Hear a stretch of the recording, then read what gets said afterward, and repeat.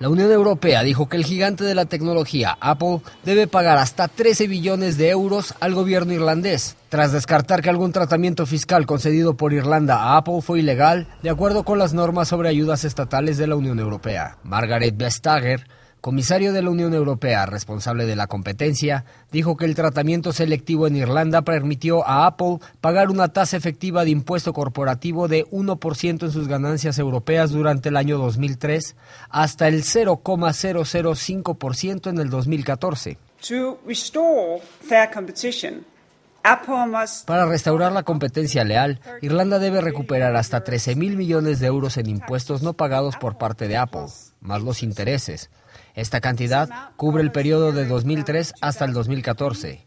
Se inician 10 años desde que iniciamos las primeras investigaciones de las autoridades irlandesas en 2013. Corresponde a las autoridades fiscales en Irlanda ahora determinar la cantidad exacta y las modalidades de pago.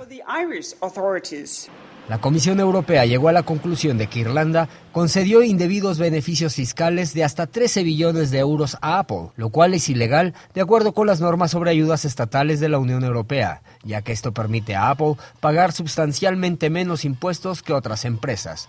Tanto el gobierno irlandés como la gigante tecnológica han decidido apelar la sentencia. Con información de la oficina en Bruselas, Bélgica, Noticias Xinhua.